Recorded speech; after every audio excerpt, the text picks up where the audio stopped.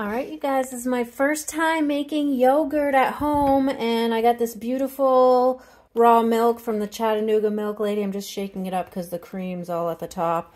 Um, and I got this thermometer to make sure my toaster oven is going to stay right around 110 degrees. So I'm just adjusting it a little bit. It's right above 100 degrees right now.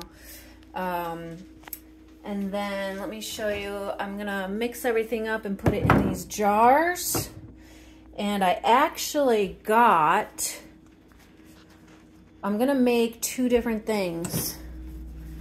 This Bulgarian yogurt from Whole Foods is so good. So I wanna make some of that. That's one of my starters.